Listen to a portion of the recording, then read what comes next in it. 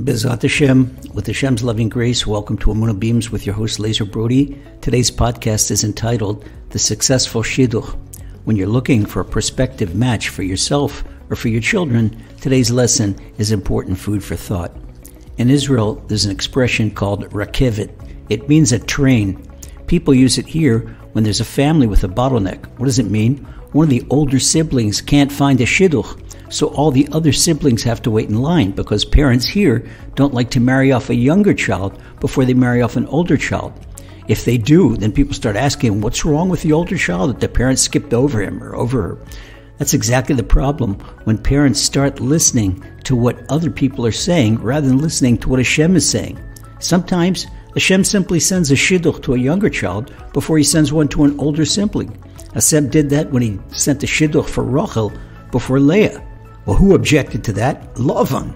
Lavan wasn't exactly the tzaddik the generation. True, everything turned out for the best, but not because Lavan wanted, because of Shem.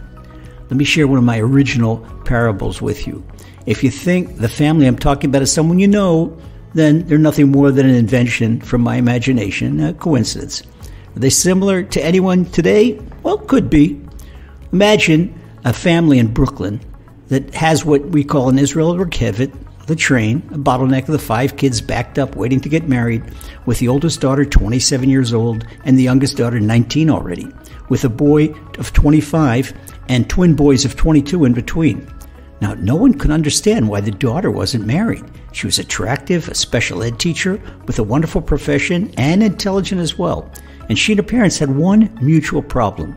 They thought that anything less than the Lakewood Rosh Yeshiva's son wasn't good enough for them. Well, the parents got a phone call from one of the heads of a well known Baal Tshuva yeshiva in Monsey. He heard about their daughter, and he told them he has a wonderful young man for them.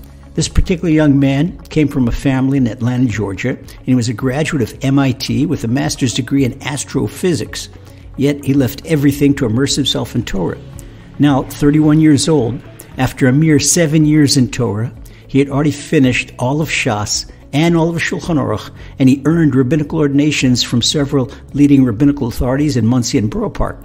Not only was he a brilliant Torah scholar, but he would pray slowly and with tremendous kavanah. What's more, the whole yeshiva loved him because he was so kind and thoughtful. He was always willing to help other people and do a favor for someone else, and help one of the new boys understand his learning. Well, the girl's father didn't like the fact that the boy was a Baal Tshuva, or that he came from Georgia. Does he at least come from a family with a good lineage? The father asked. Well, the Rosh Yeshiva answered, I'll tell you the truth. The parents claim to be Jewish, but they don't have any proof. Since they belong to the Messianic community, the son did complete Giur L'chomra, complete strict Orthodox conversion during his first year at the yeshiva. At that point, the girl's father interrupted. Rosh Yeshiva, if you were a shadchan, I've already slammed the phone in your face. But since I respect Torah scholars, I'll let you speak. What do you think such a redneck yokel like your student is suitable for my daughter and our family? The father protested. Rosh Yeshiva took a deep breath. Well, he already knew that the student deserved a family with much better character than this particular man's. Excuse me, sir, he said, we're not talking about a redneck yokel, like you say, but we're talking about a God fearing, ordained rabbi who's a Torah scholar of impeccable character and who will definitely be one of the giants of the next generation. Just wait and see. But I understand my mistake in calling you, and I apologize. Even though my student has potential of being another Rabbi Akiva, I agree that he's not for your daughter. And the Rosh Yeshiva politely wished the father well and ended the conversation.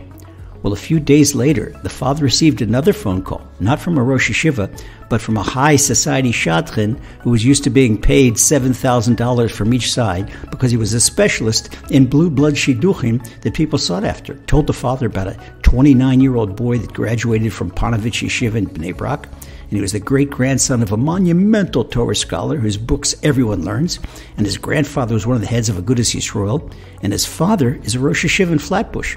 Well, the boy's a financial genius that learns half day and spends the other half day in investment banking. Well, the girl's father was so enthused he never even bothered checking up on the boy. what prestige to be married into that family. He didn't even ask why the boy was still single at 29. Well, the couple got married, but don't ask what happened afterwards. Sure, under the chuppah, they looked like the couple of the year that should be on the cover of Mishpacha magazine, but a week after the Sheva Brachas, they were at each other's throats, and six months later, they were divorced. Now, let's imagine that Hashem lets us glance at the heavenly archives to see what happened. Hashem had a perfect shidduch for this 27 year old girl that would have succeeded if she and her family would have learned a bit of humility and brought their noses down from Mount Everest. That young Baal Tshuva was a spark of Avram Avinu's soul. He had all the wonderful qualities of our forefather Abraham, but he also had a father like Terach, and he didn't have blue blood lineage. But the girl's father turned him down, even though he was a Hope Diamond, because they were worried about what the neighbors would say. Well, since they turned down a spark, great grandson of Avram Avinu, Hashem let them hang by their own rope. Oh, you want yichus? That's fine. You can have yichus.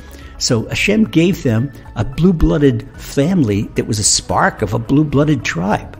The boy they grabbed up was a spark of Dosan and Aviram from the prestigious family of Eliav in the tribe of Reuven. He subsequently buried their daughter just like Dosan and Aviram, that brought their families, that buried them with Korach's gang when they revolted against Moshe Rabbeinu. Sounds like have a pretty vivid imagination, doesn't it? Well, I guess I do. But in today's false world of shidduchim, with these ridiculous resumes that people demand, an Avram Avinu or Rabbi Akiva wouldn't stand a chance. Neither would Leah Imenu or Rachel Imenu, because they didn't learn in Beis Yaakov, and their father Lavan was the head of the Syrian mafia. Now stop and think. Look who Joshua married and he was Moses' leading student from the prestigious tribe of Ephraim. He married a hooker, Rahav the harlot. I'm not kidding, it's true. But what do you think would happen if a leading Rebbe in New York City had a son that brought home a convert from a Puerto Rican family in South Bronx that used to work in the streets? That's exactly what Joshua brought home because her midas, her character traits, were impeccable. She was so very loyal and dedicated to her family and to Hashem once she converted.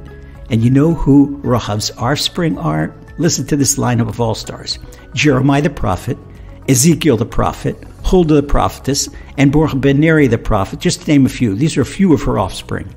Now, how many people today would refuse a shidduch with King David because his great grandmother was a convert?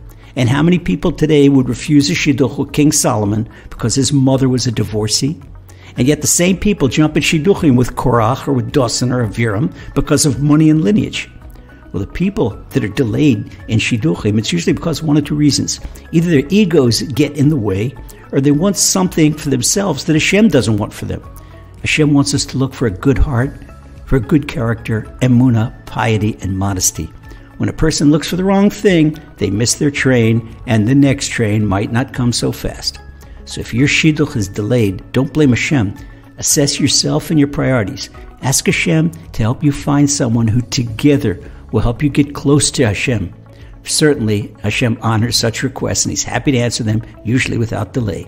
Keep on praying and ask for Hashem's help. Don't stop. And God willing, you'll see big salvation very soon. Amen. God bless.